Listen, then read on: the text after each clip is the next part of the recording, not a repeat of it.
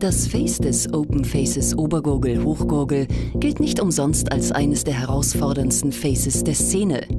Am vergangenen Wochenende setzte der Hangerer aufgrund der schwierigen Witterungsverhältnisse noch einen drauf. Ein Fall für einige der stärksten Rider der Freeride World Qualifier Tour, die beim letzten Vier-Sterne-Qualifier auf europäischem Boden auch noch um die begehrtesten Startplätze in der Freeride World Tour kämpften. Alles abgecheckt. Jetzt kann es losgehen.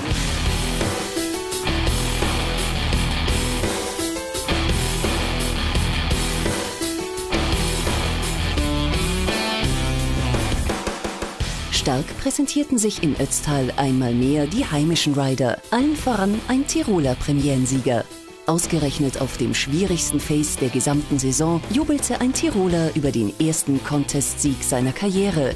Der Fieberbrunner Clemens Bergmann bewies nach seinen beiden Podestplatzierungen in Silbretta Montafon und in der Axamalizum weiter seine ansteigende Form. Es war relativ schwierig zum Fahren, also das Face ist wahnsinnig anspruchsvoll da in Obergurgel aber ich muss sagen, es ist mir ganz gut aufgegangen. Ich fühle mich definitiv fett stoked und gut, muss ich sagen. Also, ist geil, zart voll.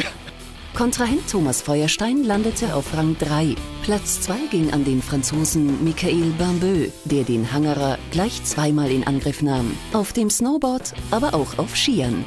Bei den Skidamen feiern die starken Französinnen einen Dreifachsieg.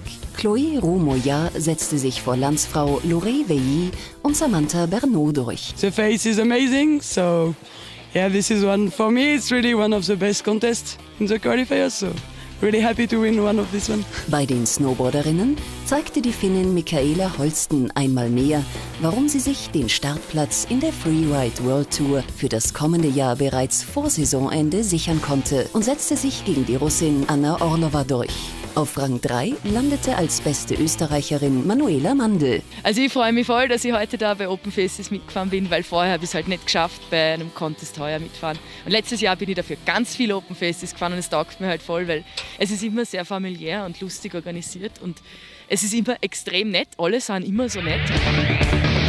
Die Veranstalter sind trotz der schwierigen Witterungsverhältnisse sehr zufrieden mit dem letzten Open Faces Bewerb. Aber die Vorbereitungen für die nächstjährige Auflage laufen bereits auf Hochtouren. Trotz einiger Verzögerungen feierten die vielen Zuschauer auf der Hohe Mutalm das Freeride-Spektakel. Dank Live-Übertragung der Runs auf Videowall versäumten die Zuschauer auf der Hohe Mutalm nichts. Auch im Ötztal war man mit der Organisation des Events, der die Freeride-Kompetenz von Obergurgel untermauert, sichtlich zufrieden. Wir freuen uns, dass wir heuer zum zweiten Mal jetzt die Weltelite der Freerider bei uns zu Gast haben dürfen und der Contest ist super gegangen. Wir freuen uns jetzt schon aufs nächste Jahr.